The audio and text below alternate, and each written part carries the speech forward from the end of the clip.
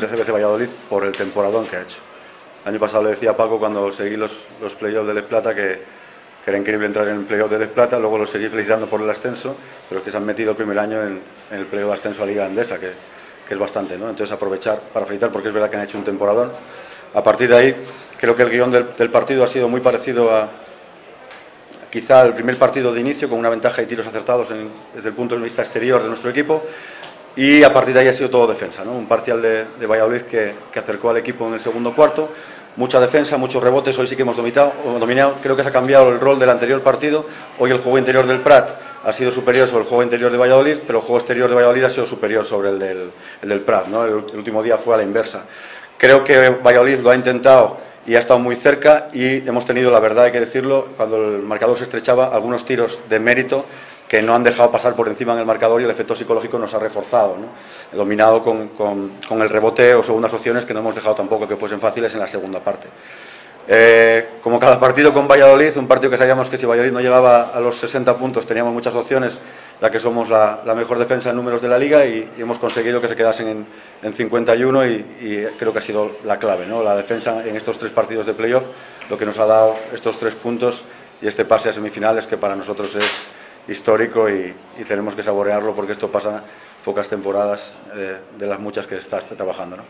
Imagino que al llegar aquí estaríais con la suficiente tranquilidad de que incluso los dos partidos tendríais una última fase. No, de tranquilidad nada. Además, nosotros, el equipo, los chicos, son, son, la mayoría son jóvenes y los expertos son ganadores. Eh, ellos quieren ganar cada partido, igual que fuese el tercero, que el cuarto, que el primero, que liga regular a jornada, última jornada, que la penúltima. Y lo han demostrado. Eh, han querido ganar hasta el final, unos días han estado mejor unos. Hoy, por ejemplo, nuestras, decir estrellas, como puede ser Agada o Mar Blanc, han estado mal, pero Cates ha puesto el mono, Andrés Quevicius ha sumado en su, en su tiempo, Portugués ha dado defensa. Todos quieren ganar y cuando uno está mal lo aprovecha el otro que viene en el banquillo y creo que ese hambre es el que se ha visto en, en esta eliminatoria. ¿no? Pero relajación ninguna, además conociendo a, a Valladolid y a Paco, eh, ya les dije que de eso nada, era innegociable y, y ellos ya no me dejan que ni, ni, que se los diga. Al final esta victoria también conseguida, podríamos decir, por la vía rápida, pensando ya en las semifinales, también ayuda ¿no? a preparar con, con más margen y más plazo esas semis. Bueno, vía rápida porque ha durado tres partidos, pero en la pista dura una eternidad. Estaba deseando que es una la bocina en el partido del otro día y, de este, ¿no? Fíjate, hasta hoy eh, hemos prohibido hablar de, del siguiente rival, sobre todo porque no habíamos pasado y, sobre todo porque ahora mismo no sé cuál va a ser. No sé cómo ha quedado el partido al final de, de, Castellón. Entonces, hoy sí que les voy a dejar saborear esto porque pasa muy pocas veces y a partir de mañana cogeremos el autobús, el avión o lo que nos toque porque ahora va a trabajar la directiva que no sabía cómo íbamos a volver y preparar sobre el rival que tengamos o si, si, se fuerza un cuarto partido, examinarlo el próximo día y si hay un quinto, volver a examinarlo del que sea y estar preparados con, con, para los dos que nos puedan tocar.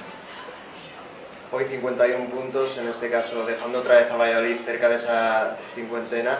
Eh, la verdad es que los números en la eliminatoria, sobre todo en defensa, son increíbles, ¿no? El, el, resto de equipos también van un poco avisados. Siendo la mejor defensa en la liga regular, estos números casi como que afianzan aún más, ¿no? Ese trabajo en defensa. Sí, creen, ¿no? Y luego los números a veces los entrenadores los aprovechamos para alentar los que queremos al equipo, ¿no? Y uno de ellos, la estadística está clara, que somos la mejor defensa por números, pero hay otra que nuestro staff técnico prepara, que somos el equipo que menos triples nos tiran y son el equipo que menos triples nos meten, por la, por la composición del equipo y lo que apostamos en defensa filosofía. Y en un playoff que el equipo rival lleve cero triples al descanso y dos al final, te ayuda a ganar, y que solo haya tirado 15, te ayuda aún más. Entonces, esto, estos datos los utilizamos y creo que son un reflejo de, de, de la, defensa que hacemos y, lo, y, por lo que apostamos. Y nos ha ido bien, por tanto los chicos de aquí no van a poder discutir que tenemos que seguir así, porque nos ha dado resultado. ¿no? Además también superando ese factor ambiental que comentábamos eh, en la previa, que podía ser una de esas cosas que, que ayudasen a Valladolid y que complicasen las cosas al Cebra. Al final se ha metido también algunos puntos importantes, pero aún así, excepto en ese gran parcial, el equipo parece que más o menos ha sabido aguantar esa situación. Bueno, esto es una ciudad CB, por circunstancias está jugando el Anle por un playoff, pero ACB. yo venía desde Asturias aquí a ver, a ver la CB porque era lo más cerca que tenía y disfrutaba de partidos y aquí han jugado jugadores maravillosos.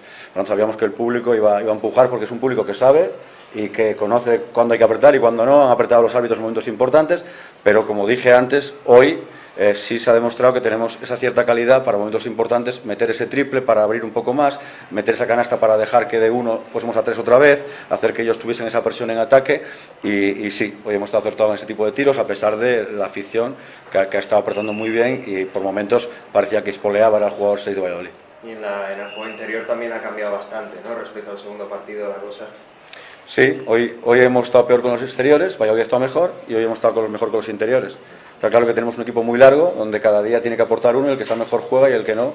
Pues Quitus tenía fiebre antes del partido, Saúl Blanco se le ha subido el gemelo faltando últimos minutos, Marlon nos ha retorcido un dedo en la primera parte y hoy con los cambios sin, sin, buscarlo, de una manera no apostando, trabajando todos, el juego interior ha sido superior. Kate ha metido un triple importante, ha dominado los tableros, ha metido unas canastas para seguir abriendo la racha de ventaja al marcador y creo que ha sido ese factor hoy el que nos ha dado esa ventaja y esos siete puntos que hemos acabado con ellos. ¿no? Comentabas aquella frase ya un poco mítica, entre comillas, de, de que si se pasaba de ronda para ti era como ganar la Euroliga.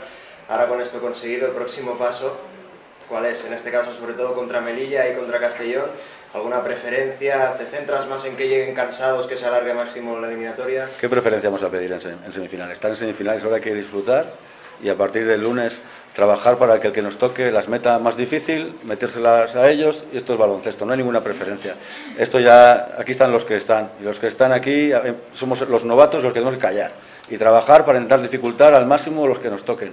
Castellón nos ganó los dos partidos, Melilla nos ganó uno en la prórroga y, le ganamos otro, así que prioridades, que, que el práctica trabajando, mantener esa identidad de juego y que sigamos compitiendo hasta el final.